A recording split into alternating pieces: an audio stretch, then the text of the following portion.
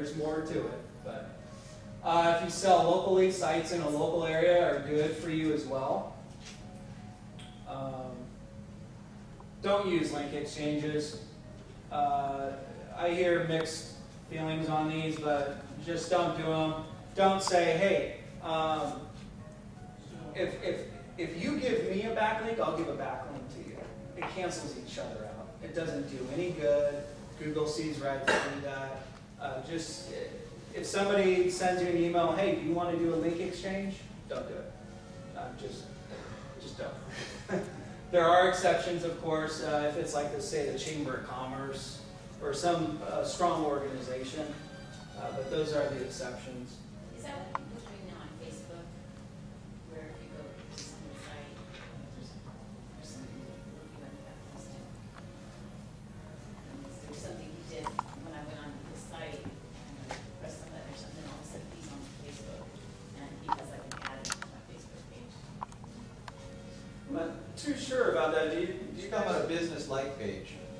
Oh, oh, is that what she's? yeah. yeah. Oh, okay. Because he's on there now, I can't get. Oh, Okay, okay. so you get his personal, and then you get him soliciting the hell out of some house or whatever his Yeah. product is. Oh, okay, yeah, Yeah. yeah. And I will get into. That might be uh, counterproductive in some Yeah. ways. Sometimes. What's the difference between off-page SEO and backlink? Uh, well, off page is. Or link exchanger? Well, off-page SEO is anything outside of your website. Okay, remember we were talking about on-page SEO. Off-page SEO is anything outside there that is directly helping your website. Okay, so a link exchange. I maybe I should have thrown this up here because maybe it confuses. Um, link exchanges are just basically if, if you have a website and I have a website and I contact you and I, and I say, can I, I, I will give you a link to, from my website to your website, and then you give me a link from your website back to my website, that's, that's what I'm saying. That's a link exchange. I don't recommend those. Um, but backlinks, it is a, it is a level of backlinking. This is just a different term for it. So backlinking, I know it, it gets a little confusing. Um, backlinking is just. Do you have a Facebook page?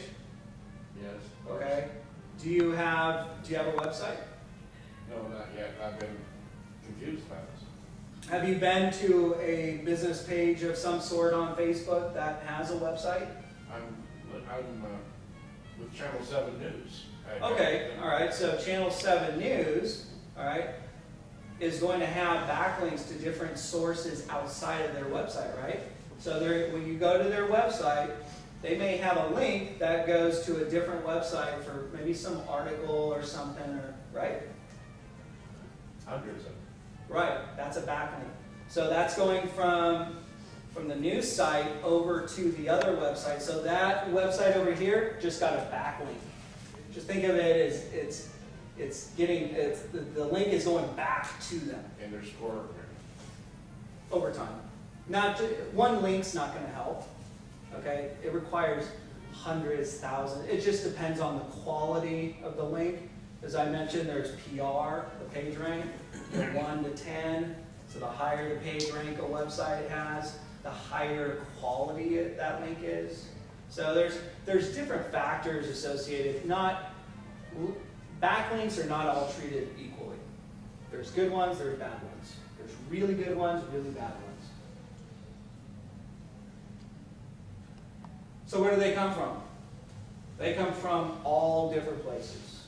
Come from directories, blog posts, forum posts, social bookmarking sites, article directories, video sharing sites, status sites. Status sites are like Facebook, Twitter, stuff like that, and podcast directories. So, I mean, they, they come from all over. If you can get them from different locations, that's better. It creates a mixture of backlinks. Uh, one thing I always uh, recommend to people is don't get all your backlinks from one source. Don't get, if you're writing articles, okay, I didn't put articles on here, did I? Oh yeah, article directories. If you're writing an article, say, uh, have you guys heard of EzineArticles? Okay? If you write an article, I, I don't write as much as I used to, but I used to write a lot of content for one of my websites, and that's all that, that's that's all I did was write content for EzineArticles. Well, Google has improved their algorithm, and now they're you know looking more at the diversity of your links. So the more diversity you can have in your backlinks, the better. It's going to look more natural. You know, having natural backlinks is is very important to the search engines and your website. So the more natural it looks, the better, and you can create more of a natural feel or a natural backlinking uh, strategy utilizing not all of these. You don't have to utilize all of them, but maybe like three or so, three or four different areas. Okay? How many links do you need? Well, this is dependent on uh, your reach and your competition. Uh, that's a whole nother course on competition. But um, if you're a local, you need less than a regional. And if you're national or worldwide, you're going to need a lot more backlinks. So it just depends on the level of competition. There's different tools out there that you can use. There's the Google Keyword Tool, which I always recommend. There's other softwares out there uh, that you can purchase that will dig deeper into your uh, competition. Um, again, that is a, another uh, presentation on competition. It, it can get pretty involved, but just understand the basics that competition is really how many how many websites are let's say for example Santa Barbara. I know there are a lot of realtors in Santa Barbara. For as tight or as uh, small of a market we are, there's a lot of realtors out there. There's a lot of people competing for business, more so today than when the big boom was going on because it was just coming like, I mean, you guys know. So now it's very competitive. People are fighting for those top 10 positions. I mean, think about it. If there's a thousand agents trying to get on page one for a keyword, there's only 10 spots. So what do they have to do? They have to create backlinks. They have to have some diversity out there, like creating maybe a video.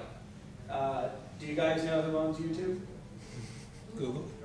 Yeah, Google. so that's the number two search engine. So creating video is going to really help. Um, just being different, out competing your competition. That's really what it comes down to. I know it sounds simple, it really is. Uh, you just have to understand your competition, the keywords that you're targeting, and then out compete them. Just out backlink them, create more content. So.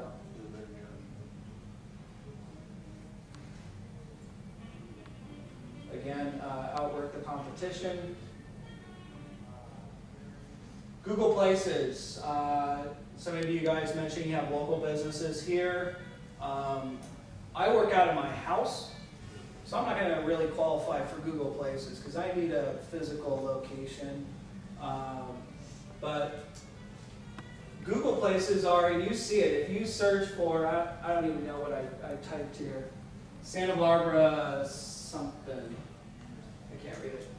But uh, when you type in a local business, it's going to pop up these uh, Google Places. You're going to you're going to see these stars. You're going to see the map over here. Uh, this is important to be on. Uh, if you guys if you guys don't have your Google Places claimed, uh, you should. Um, I, I can show you guys how to do that. It's free. That's how I found this place tonight. There you go. Yep. There you go. Um, so what is uh, what is local search? I mean, this is all about local search. Um, even as a real estate investor, we all have markets that we target, right? Uh, my market when I was doing uh, investing was Oklahoma City.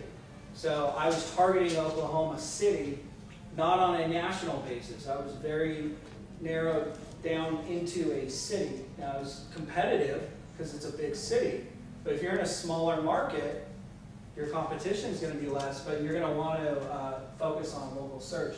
So local search is any search made with the goal of finding something in a specific geographic area. So Santa Barbara, plumbers, painters, whatever it may be.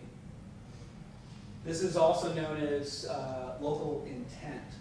If somebody's typing in uh, Santa Barbara CPAs, that's local intent. They're looking for someone in Santa Barbara, and if you're not up here, they're going to go to the, the top people, right? So it's important that uh, you focus on Google Places if you have a local business.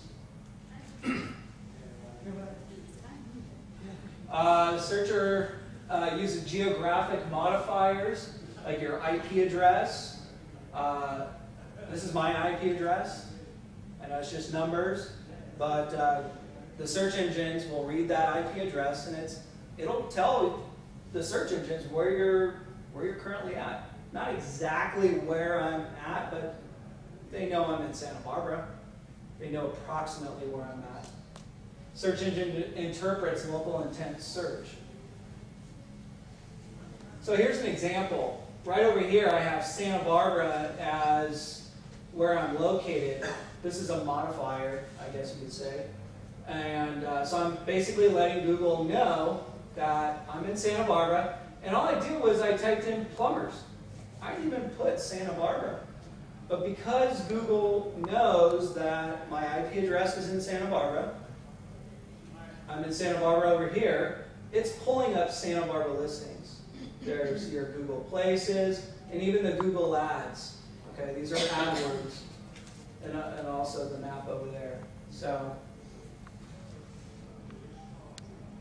so why is uh, local SEO important? Here's some stats. 73% of activity online is in one way or another related to local content.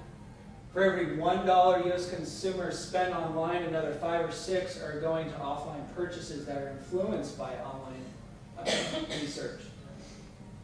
And 97% of internet users in the US gather shopping information online, and of those consumers, 51% of them explicitly characterize their behavior as shop online, purchase offline. So I think that's important to note. If you have a product or service that uh, you're trying to promote, uh, more so products, is that they're going online, they're doing their re- research online. Now they, they have that instant gratification. They want it right now. I mean, you know, the iPad 3 just came out, and everybody wants one. They sold 3 million units. It's, they broke records off of that. And guess what? Those people had instant gratification. They went to the store and they're waiting in lines uh, the night before for that, you know. But they, they're doing the research online. They read all the hype online. Now they're purchasing offline. 70% of online searches will use Google search to find offline businesses. Offline businesses are like your brick and mortar type businesses. So how high do I need to rank? Well, uh, Chitika, uh, which uh, did a survey of their service, and they found that the number one uh, ranking got 30, what is that, 31% or 34.35%. And then it goes on down. As you can see, that number dwindles. Uh, the number 10 spot only got 2.71%.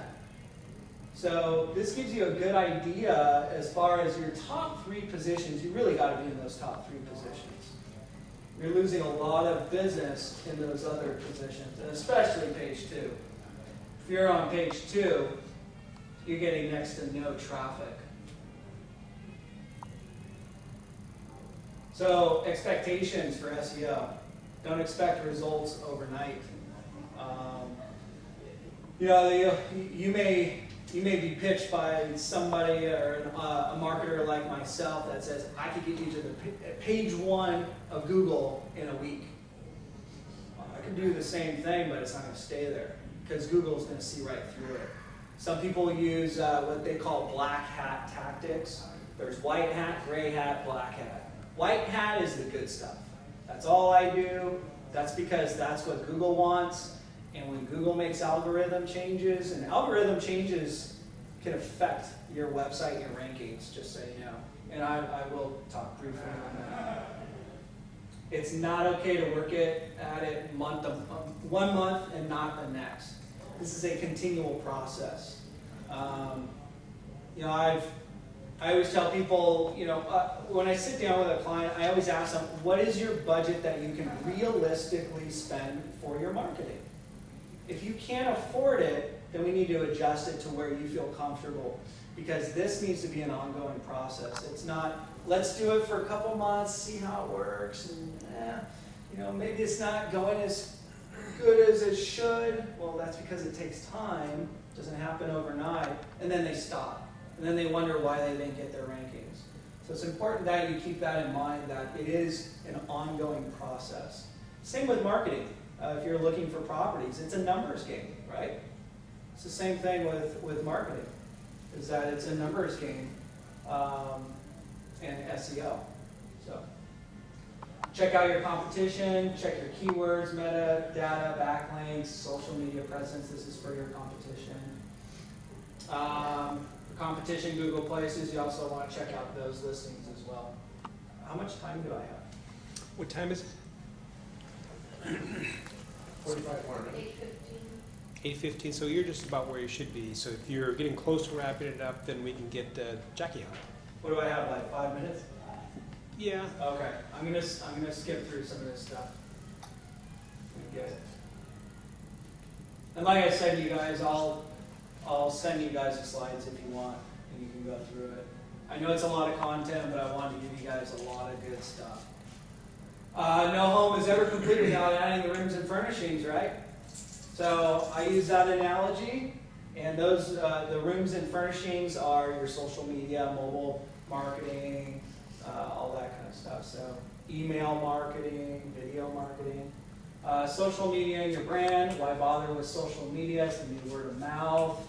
Uh, just like the guys mentioned, it's the know, like, trust.